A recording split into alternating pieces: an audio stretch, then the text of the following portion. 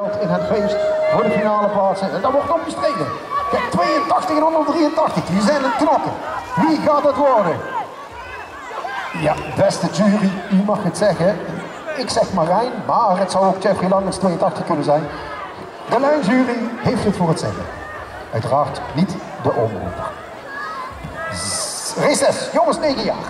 We zien komen 143 Xander Teunissen op de eerste plek bij de tweede combo. Hij wordt uh, gevolgd door de tweede plek, door 57, Rick Schakeraad. Dan zien we 5.30 Nino van Aarle zich op de derde plek melden. En dan hebben we ook nog